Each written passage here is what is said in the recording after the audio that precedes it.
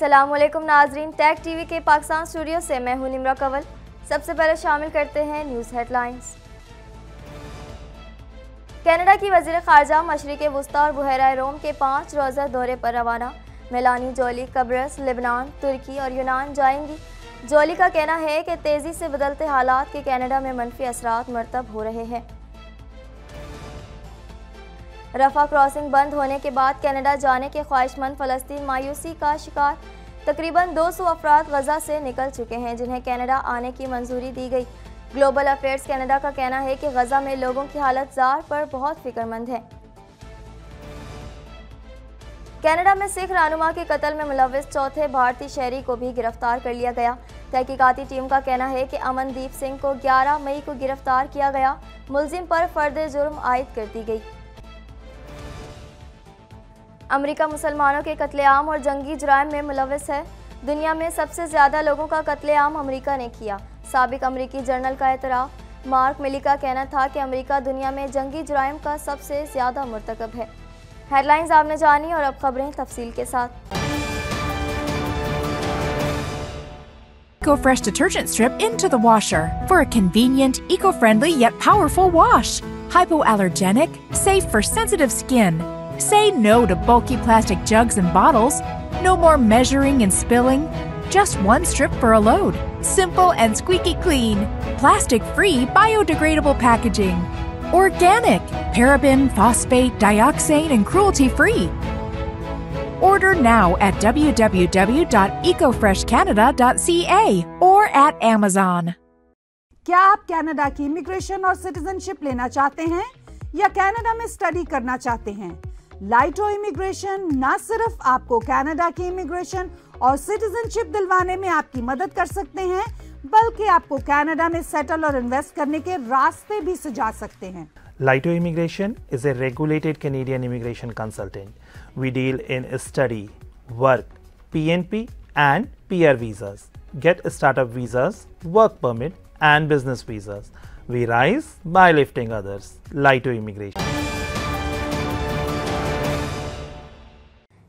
Canada کی وزیر برائے خارجہ امور مشرق وسطی اور بحیرہ روم کے پانچ روزہ دورے پر روانہ ہو رہی ہیں، جہاں وہ قیام، امن اور امداد پر توجہ مرکوز کریں گی۔ مزید جانیں گے اس رپورٹ میں۔ کینیڈا کی وزیر برائے خارجہ امور مشرق وسطی اور بحیرہ روم کے پانچ روزہ دورے پر روانہ ہو رہی ہیں، جہاں وہ قیام، امن اور امداد پر توجہ مرکوز کریں گی۔ عالمی امور کینیڈا کا کہنا ہے کہ میلانی جولی قبرص، لبنان، ترکی اور یونان جائیں گی، جہاں وہ اپنے ہم منصبوں اور دیگر سرکاری حکام سے ملاقاتیں کریں گی۔ ایک بیان میں جولی کا کہنا ہے کہ مشرق وسطی اور قفقاز میں تیزی سے بدلتے ہوئے حالات کے کینیڈا میں منفی اثرات مرتب ہو رہے ہیں۔ ان کا کہنا تھا کہ وہ حکام کے ساتھ مشغول ہونے اور یہ دیکھنے کی منتظر ہیں کہ کینیڈا کس طرح مدد فراہم کرنا جاری رکھ سکتا ہے۔ اس کے سفر کی تفصیلات میں قبرص میں اقوام متحدہ کی امن فوج کی ساتویں سالگرہ کے موقع پر اور غزہ میں انسانی امداد کو کس طرح بڑھایا جا سکتا ہے، اس پر تبادلہ خیال کرنا شامل ہے۔ وہ مشرق وسطی اور جنوبی قفقاز میں علاقائی سلامتی اور استحکام پر بھی بات کریں گی۔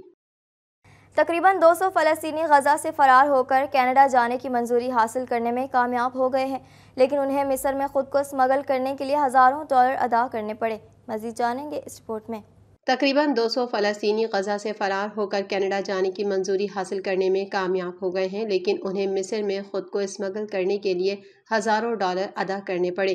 وہ راستہ اب غزہ کی پٹی کے جنوبی علاقے رفح میں جاری اسرائیلی فوجی مہم کی وجہ سے بند ہے۔ حماس نے اعلان کیا کہ اس نے مصر اور قطر کی سالسی میں جنگ بندی کے معاہدے پر اتفاق کیا ہے۔ اسرائیل نے اس معاہدے کو مسترد کر دیا، جس کے بارے میں کہا گیا تھا کہ وہ ایسے عناصر پر مشتمل ہے جسے وہ قبول نہیں کر سکتا تھا۔ اور رفح میں اپنی در اندازی شروع کر دی، جہاں غزہ کے دس لاکھ سے زائد باشندوں نے جنگ سے پناہ مانگی ہے۔ ایسے بہت سے افراد ہیں جو غزہ سے نکلنے کی کوشش کر رہے ہیں۔ ان کا کہنا ہے کہ ہم ہمیشہ تناؤ کا شکار اور بہت اداس اور ہمیشہ پریشان رہتے تھے۔ وہ ابھی تک کینیڈا کی حکومت کی طرف سے اس بات کا انتظار کر رہے ہیں کہ آیا انہیں اپنے بہن بھائیوں اور ان کے اہل خانہ کو کینیڈا لانے کی اجازت دی جائے گی۔ ایک بیان میں immigration, refugees and citizenship Canada نے کہا کہ محکمہ غزہ میں لوگوں کی حالت زار پر بہت فکر مند ہے اور اس بات سے آگاہ ہے کہ کچھ لوگ خود ہی غزہ سے نکل رہے ہیں۔ محکمے کا کہنا ہے کہ وہ لوگوں کی اسمگلنگ کی ایسی خدمات کے استعمال کی سفارش نہیں کرتا ہے اور مصر اور اسرائیل سے درخواست دہندگان کو باہر نکلنے کی منظوری دینے کا مطالبہ کرتا رہتا ہے۔ Refugees and citizenship Canada نے کہا ہے کہ انتیس اپریل تک ایک سو اناسی افراد نے یہ عمل مکمل کر لیا ہے اور انہیں کینیڈا آنے کی منظوری دی گئی ہے۔ سرکاری چینلز کے ذریعے غزہ سے کسی کو نہیں نکالا گیا۔ کینیڈین پولیس نے سکھ علیحدگی پسند رہنما ہردیپ سنگھ نجر کے قتل میں ملوث چوتھے بھارتی شہری کو بھی گرفتار کر لیا۔ آنٹیریو میں زیر حراست ہندوستانی شہری پر نجار کے قتل کا الزام عائد کیا گیا ہے۔ مزید جانیں گے اس رپورٹ میں۔ کینیڈین پولیس نے سکھ علیحدگی پسند رہنما ہردیپ سنگھ نجر کے قتل میں ملوث چوتھے بھارتی شہری کو بھی گرفتار کر لیا۔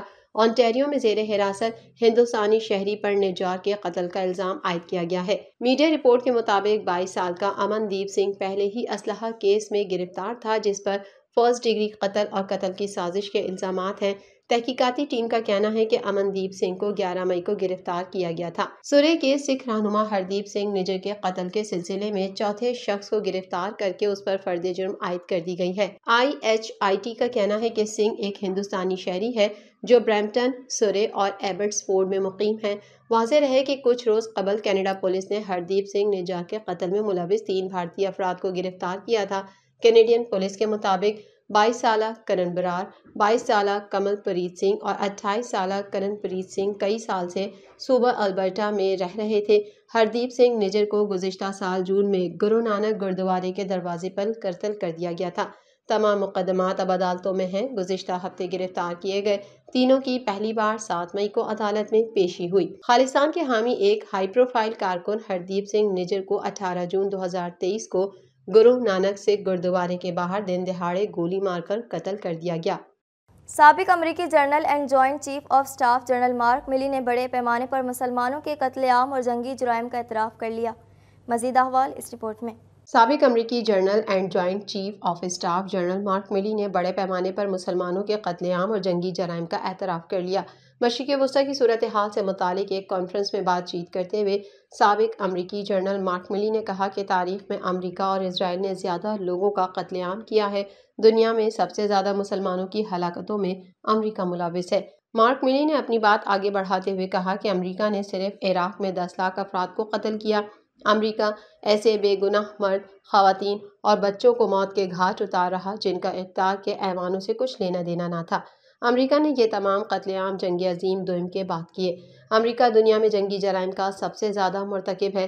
سابق امریکی جنرل مارک ملی نے امریکہ کی دنیا میں بڑے پیمانے پر مسلمانوں کے قتل عام اور جنگی جرائم کا اعتراف کر لیا ہے۔ سابق امریکی general and joint chief of staff general Mark Milley نے مشرق وسطی کی صورتحال سے متعلق ایک کانفرنس میں بات چیت کرتے ہوئے بڑے پیمانے پر مسلمانوں کے قتل عام اور جنگی جرائم کا اعتراف کر لیا ہے۔ مارک منی نے کہا کہ تاریخ میں امریکہ اور اسرائیل نے سب سے زیادہ لوگوں کا قتل عام کیا ہے اور دنیا میں سب سے زیادہ مسلمانوں کی ہلاکتوں میں امریکہ ملوث ہے۔ سابق امریکی جرنل نے مزید کہا کہ امریکہ نے یہ تمام قتل عام جنگی عظیم تو ان کے بعد کیے امریکہ دنیا میں جنگی جرائم کا سب سے زیادہ مرتکب ہے۔ ٹیک ٹی وی کے پاکستان اسٹوڈیو سے فی الحال اتنا ہی۔ اپنی میزبان نمرہ کول کو دیجیے اجازت۔ اللہ حافظ۔